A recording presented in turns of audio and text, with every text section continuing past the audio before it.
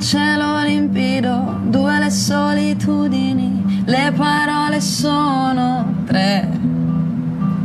Quattro mani tese, cinque stelle appese, le parole sempre tre.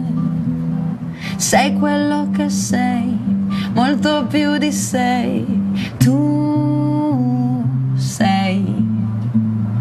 Le parole sono Il concetto di spazio ha sempre appassionato i cuori degli artisti, ma non pensavo al punto di provocare una vera e propria invasione. C'è un artista urbano e writer francese, Invader, che dal 1998 porta avanti un progetto di installazione di mosaici di piastrelle ispirati al videogioco Space Invaders. Ho potuto constatare di persona che l'invasione è arrivata in tutte le sedi ESA e perfino sulla Stazione Spaziale Internazionale, anche se in realtà le uniche intrusioni spaziali che possiamo temere davvero sono l'ipotesi di impatto terrestre degli asteroidi e in agenzia spaziale ho incontrato Ettore Perozzi, il massimo esperto in materia. Uno siamo